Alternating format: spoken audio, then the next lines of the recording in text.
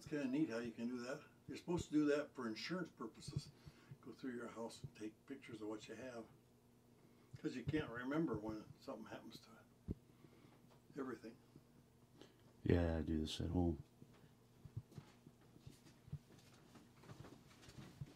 He's photography.